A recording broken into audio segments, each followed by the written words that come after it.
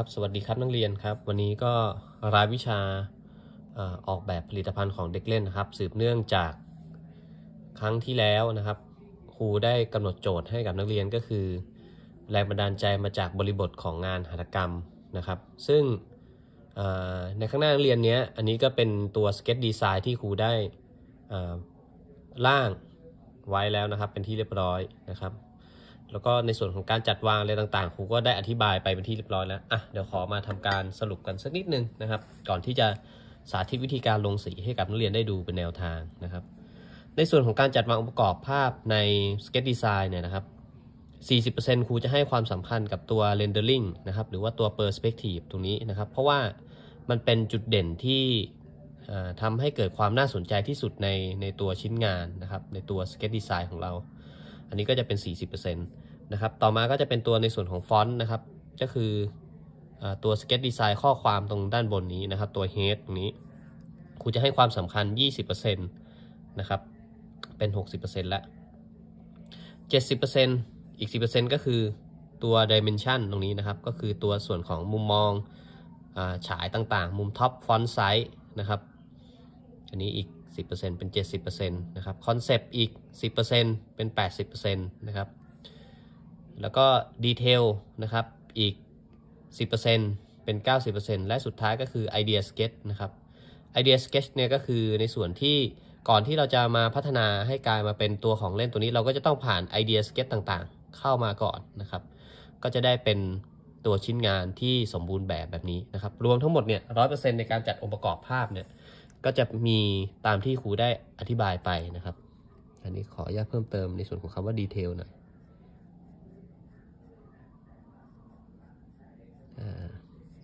นี่นะครับ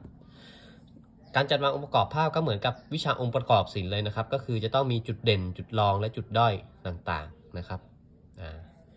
ส่วนคู่สีที่ครูจะใช้วันนี้ก็จะเป็นสีนะครับ เนื่องจากตัว product เนี่ยมันมีแรงบันดาลใจมาจากเครื่องปั้นดินเผานะครับตาม concept ที่ครูได้เขียนไว้นะครับกระหนก spinner เป็นของเล่นที่ได้รับแรงบันดาลใจมาจากงานเครื่องปั้นดินเผา นะครับ ตุ่มใส่น้ำตุ่มใส่น้ำดื่มดินเผา อันเป็นสิ่งที่ใช้ในการรับแขกผู้มาเยือนบ้านเรือนนะครับ ซึ่งแสดงออกถึงความเป็นเอกลักษณ์ของวัฒนธรรมไทย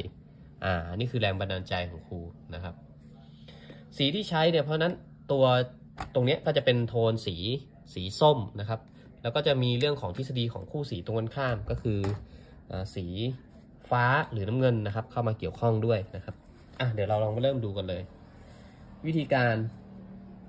ครูจะเคลียร์ในส่วนของพื้นที่รอบนอกให้เรียบร้อยก่อนนะครับ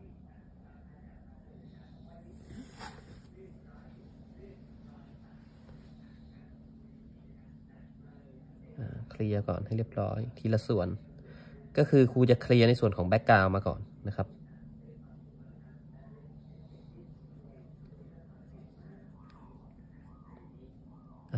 ซึ่งอุปกรณ์ที่ครูจะใช้สาธิตในการปฏิบัติงานให้กับนักเรียนได้ดูวันนี้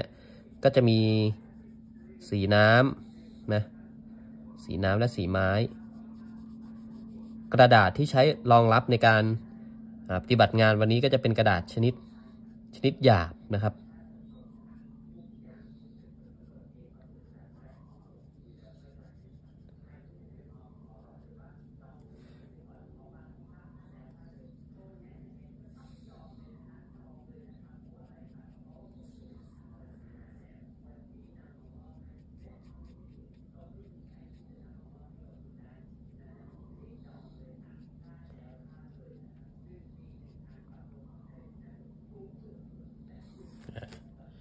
นะครับ ว่าครูจะมีการไล่ค่าระดับน้ำหนักจากเข้มมาอ่อนนะ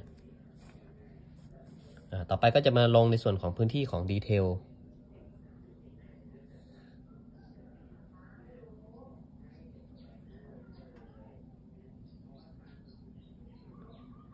วิธีการเนี่ยถ้าเป็นพื้นที่ที่ขอบมันคมเนี่ย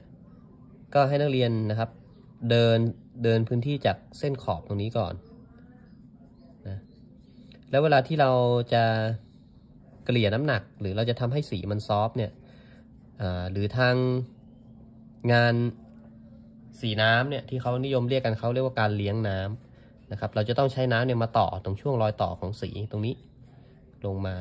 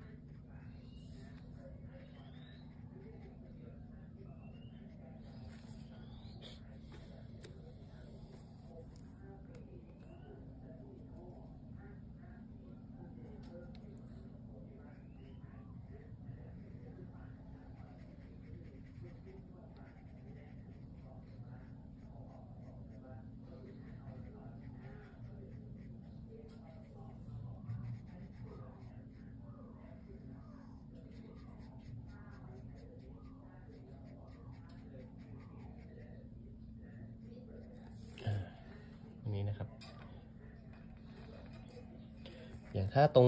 ไหนที่เราต้องการให้มันมีเอฟเฟกต์อะไรต่างเนี่ย เราสามารถ drop สีนะครับ drop สีก็คือการหยดลงไป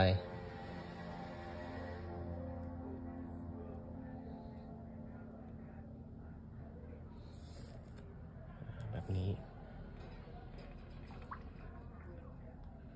ตรงฝั่งด้านนี้นะครับ ก็จะเป็นลักษณะของลายกระจังแล้วครูก็จะลงให้มันบางๆ สีฟ้าบางๆ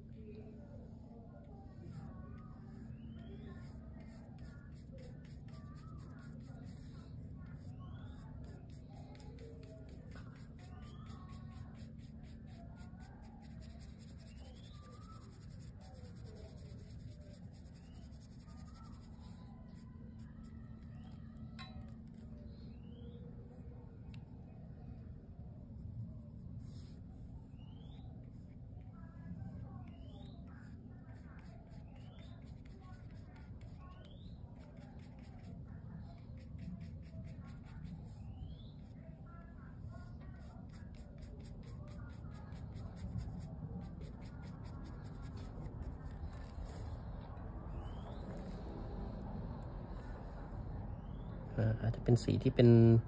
layer ซ้อนลงมา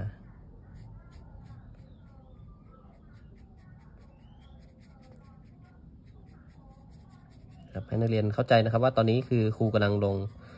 รวมๆก่อนนะครับครูจะ clear ในส่วนของ background มาก่อน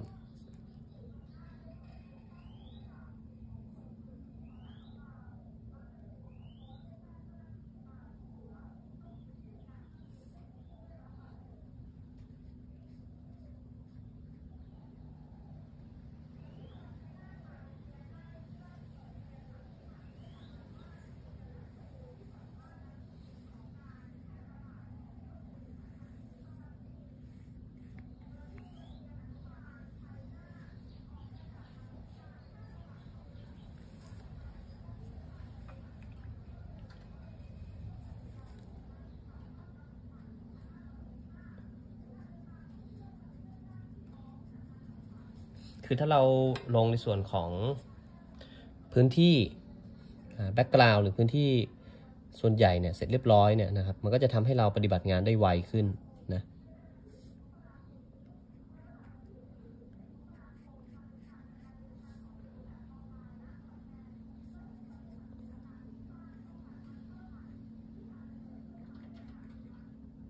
ถ้าพื้นที่มันเล็กลงเราก็เปลี่ยนผู้กันหน่อย รูขออนุญาตเปลี่ยนผู้กันหน่อยแล้วกัน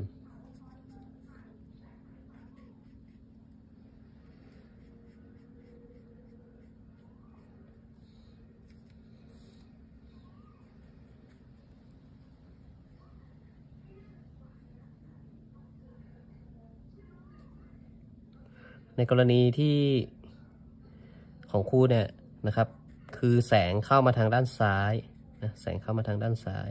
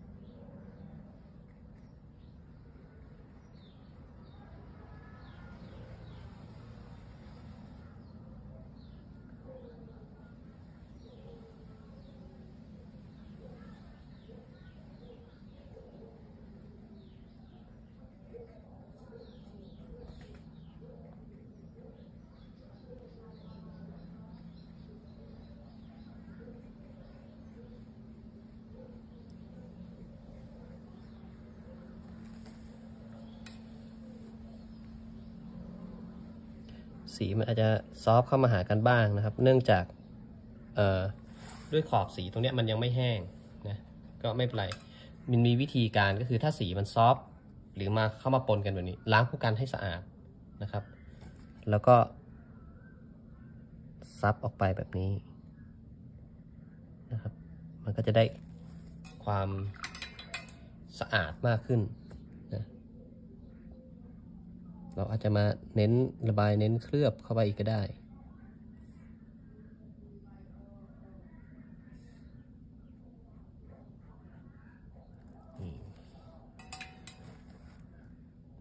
ครูเขาจะขอเคลียร์ในส่วนของเงาก่อนนะครับ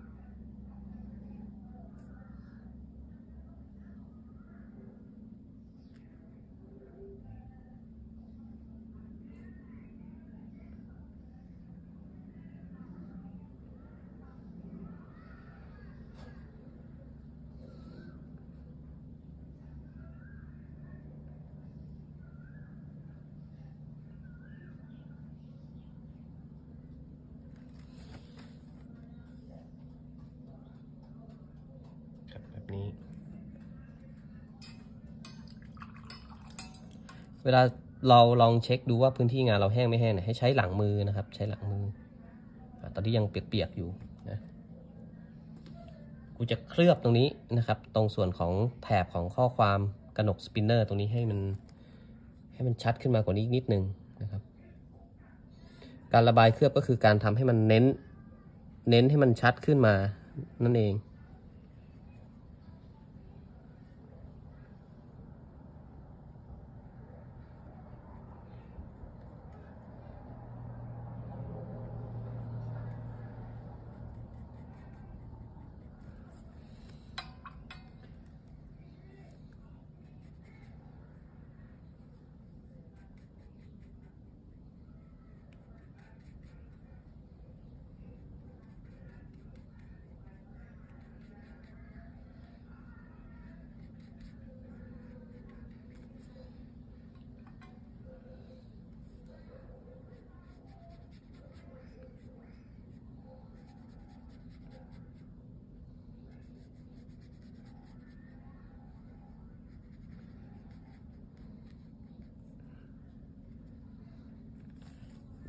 นี้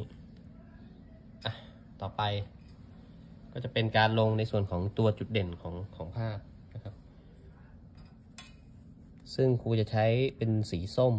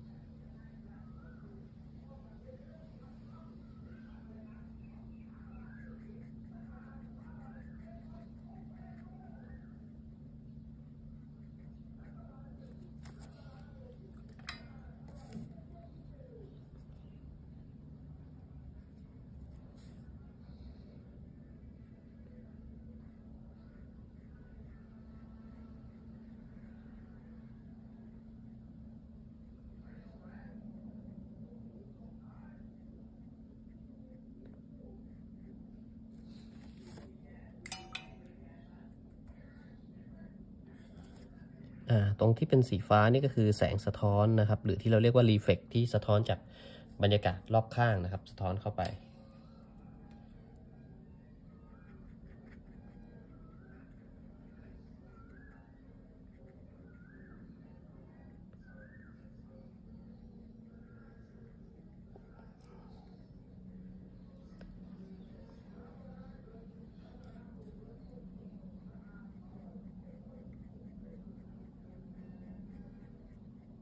อ่าก็จะ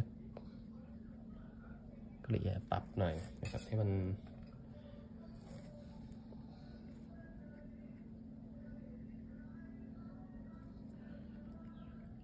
สีฟ้าอย่างนี้นะครับก็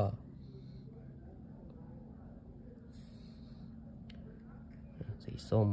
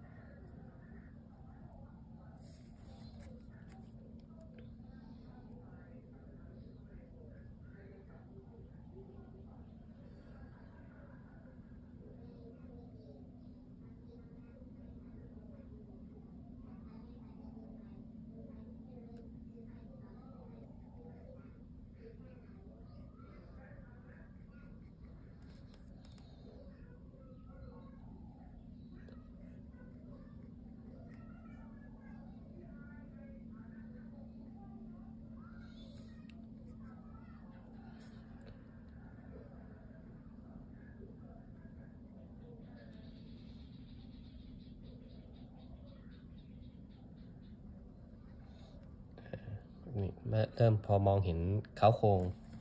ร่างขึ้นมาแล้วนะครับ ส่วนของ Idea Sketch ตตรงนี้ก็เป็นสีส้มเหมือนกัน แต่ว่าเราจะลงให้มันบางกว่าไม่งั้นมันจะมาแย่งซีนกับตัว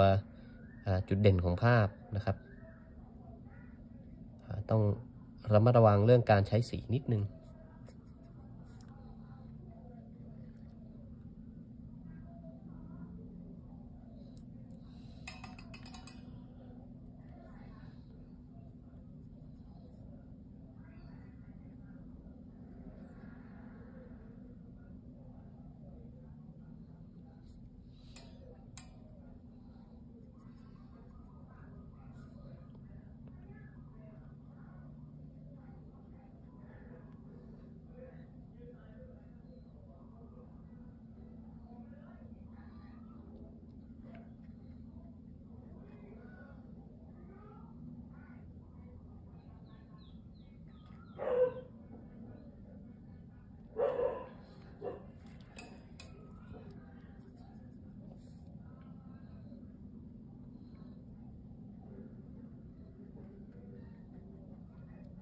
ส่สีฟ้าเข้าไปหน่อย เพราะว่ามันจะเป็นเรื่องของสีบรรยากาศนะครับอันด้านบนเลยเนี่ยตรงนี้ครูจะไม่ได้เว้นเป็นขาวไว้แบบนี้นะครับ แต่ว่าครูจะมีการไล่ค่าระดับน้ำหนักให้มัน ให้มันสว่าง เพราะว่าที่มันเป็นสีขาวตรงนี้อันนี้คือตำแหน่งที่เป็นแสงนักเรียนจะต้องคำนึงถึงในส่วนของอการไล่ค่าระดับน้ำหนักแสงเงาด้วยนะครับ นี่ อันนี้ก็เป็นการลงรวมๆนะครับลงรวมๆนะครับ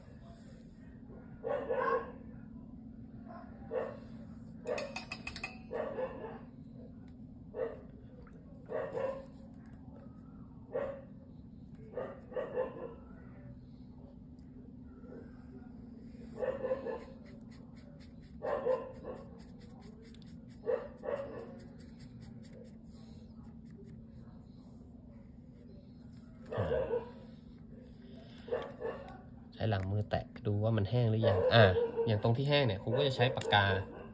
นะครับปากกาหัวที่แบบค่อนข้างแหลมหน่อย มาเก็บในส่วนของรายละเอียดอ่าครูจะเริ่มเก็บจากในส่วนของดีเทลก่อน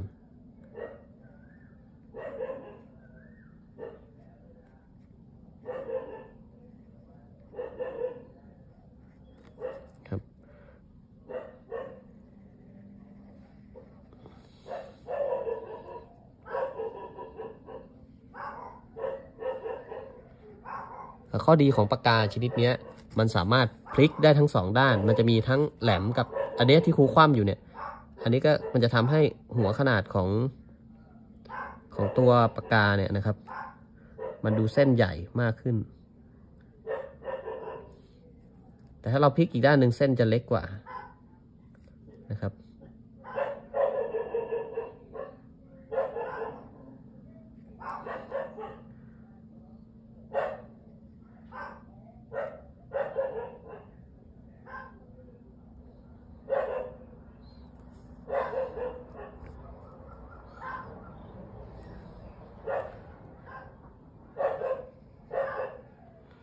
ส้นตรงนี้ก็จะเล็กกว่า เพราะว่ามันอยู่ระยะหลัง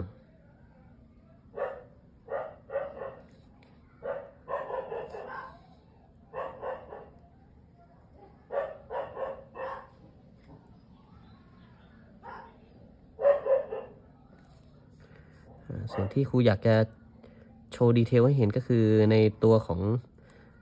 ลูกข่างตัวเนี้ย มันจะมีลายกระหนกอยู่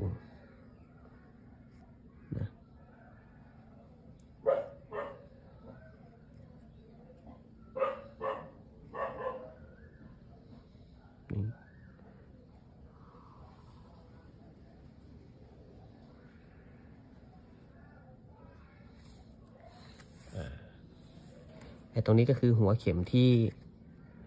เอ่อเป็นหัวแบบอย่างดีเลยนะครับ เป็นหัวแบบหัวเพชรเจเจรไนอะไรอย่างงี้ก็ว่าไปพลอยเจรไนอ่าอันนี้ไอเดียสเก็ต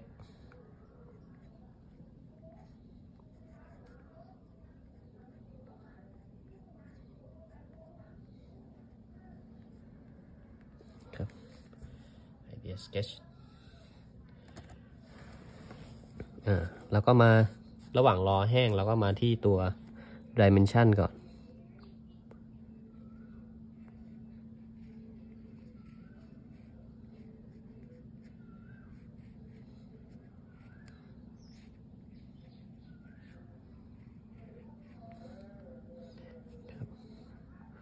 นี่ก็คือส่วนท็อปมุมมองด้านบน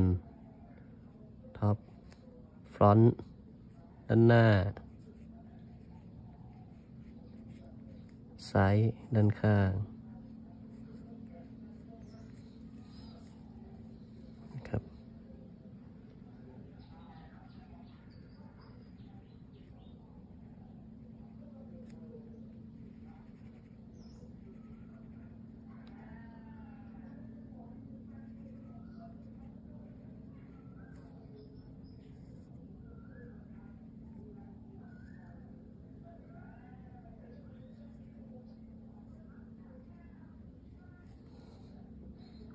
ก็จะมีเรื่องของมาตราส่วนอะไรเข้ามาเกี่ยวข้องด้วยนะครับ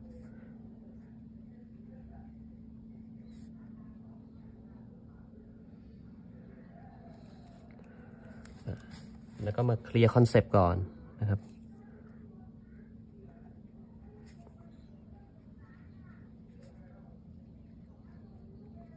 concept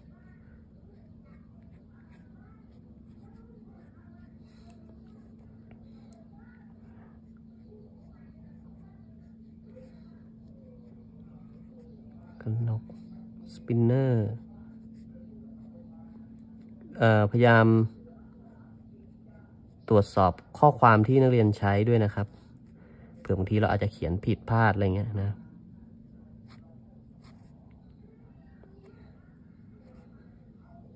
เป็นของเล่น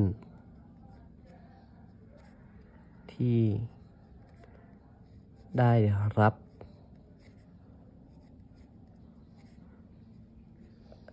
แรงบันดาลใจ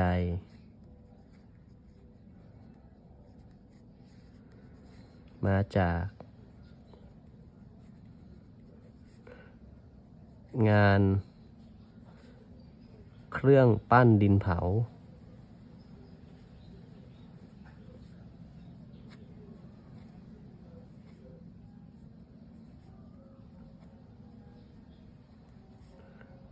เป็นตุ่มใส่น้ำตุ่มใส่น้ำดื่ม ดินเผา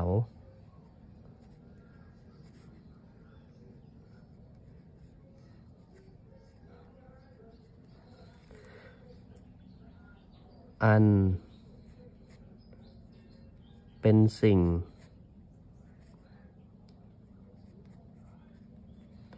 ที่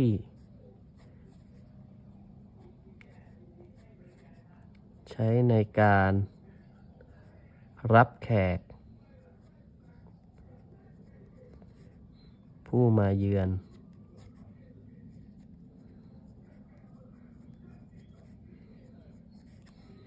ผู้มาเยือนบ้านเรือน ก็คือในสมัยก่อนเนี่ยตุ่มใส่น้ำเนี่ยจะใช้แบบวางไว้หน้าบ้าน แล้วก็ใครที่เดินผ่านไปผ่านมาก็สามารถมาตักน้ำดื่มได้เลยนะครับ ซึ่งแสดงถึง ความ มีน้ำใจอะ มีน้ำใจ ของคนไทย และ เป็น เอกลักษณ์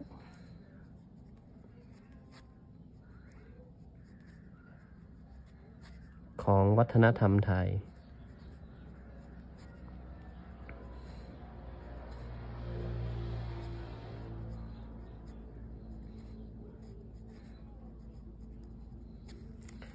ครับ อันนี้ก็จะเป็นตัวภาพรวมนะคอนเซ็ปต์แรงต่างทีนี้มันจะมีข้อความที่เป็น head อยู่ด้านบนนะ ครูก็จะใช้สีสีส้ม ซึ่งเป็นคู่สีตรงกันข้าม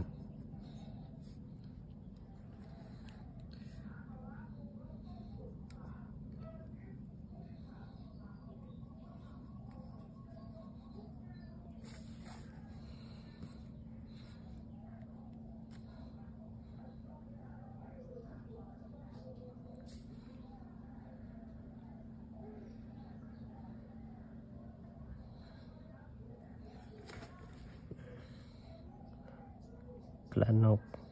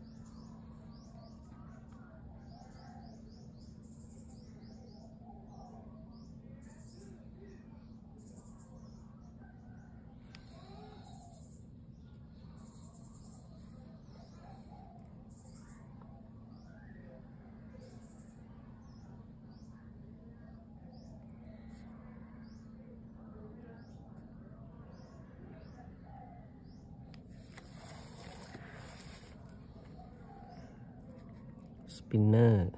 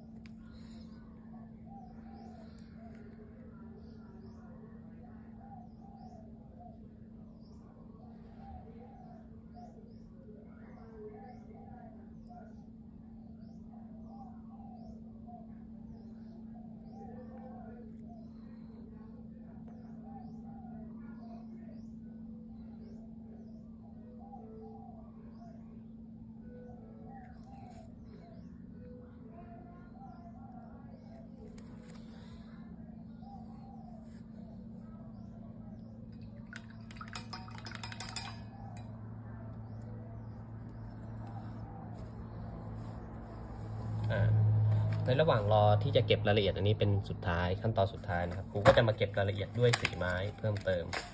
กับตัวชิ้นงานนะ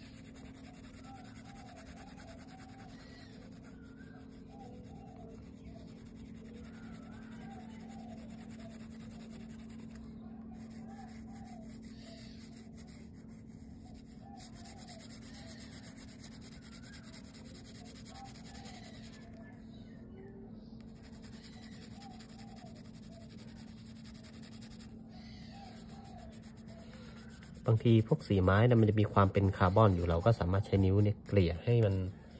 ละเอียดได้นะครับ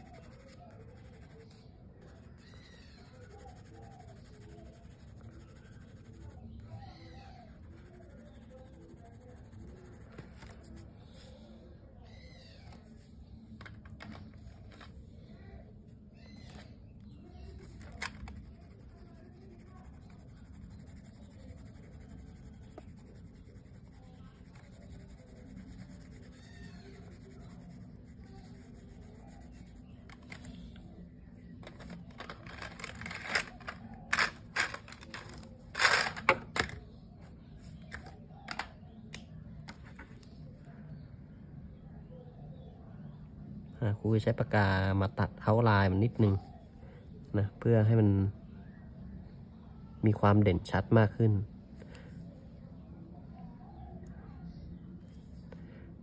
ก็คือจะตัดแค่เฉพาะส่วนที่เป็นเส้นเอาลายคือเส้นขอบนอกเท่านั้นนะครับ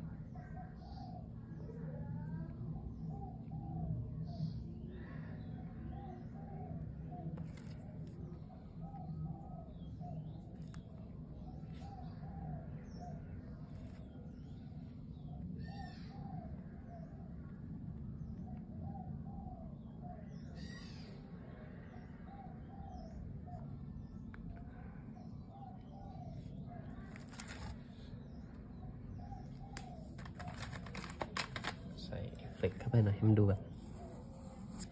เหมือนมีความเคลื่อนไหวได้ หมุนได้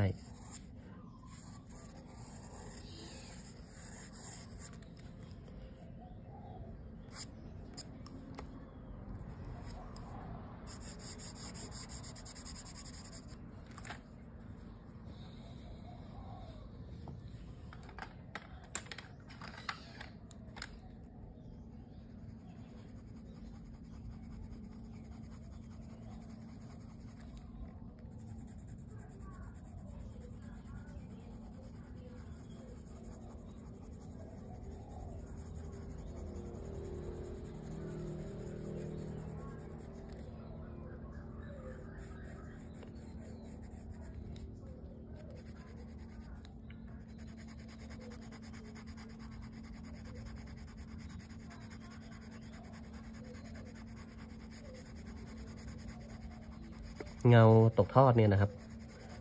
ถ้ามันใกล้วัตถุเนี่ยมันจะเข้ม แต่พอไกลออกไปเนี่ยมันจะจางเบลอออกไป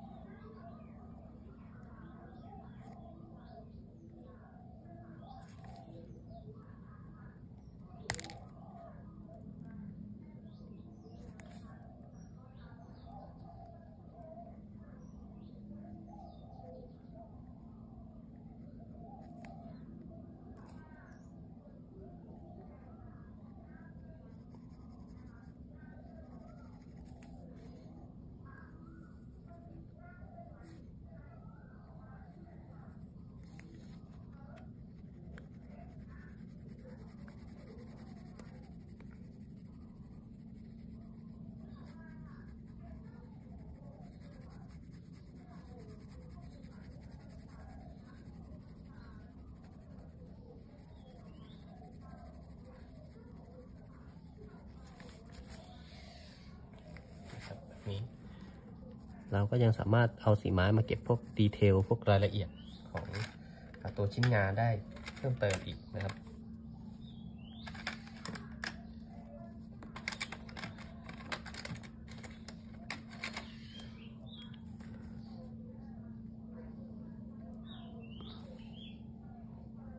นี่ก็จะมีลาย ลายไทย ลายกระหนกสามตัว ทรกอยู่เเดี๋ยวขอใช้เป็นปากกาดีกว่านะ จะได้มองเห็น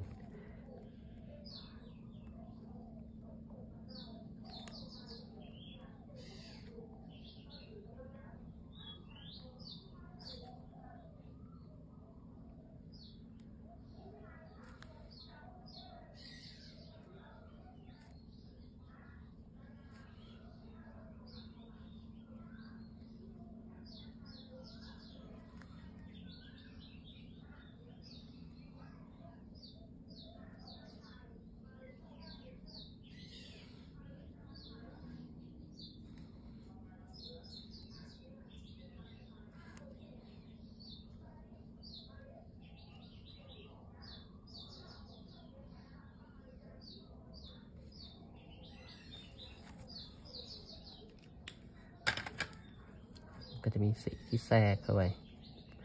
นะครับ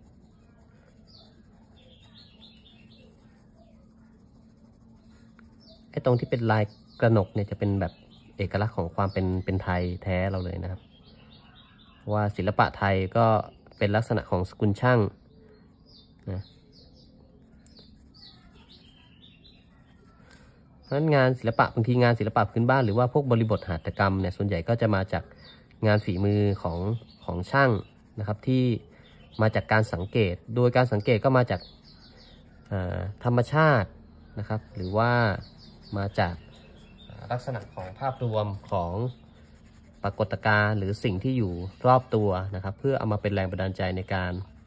สร้างสรรค์ตัวชิ้นงานหรือตัวผลงานนะครับ อันนี้ก็เป็นความชาญฉลาดของสกุลช่างไทยโบราณเรา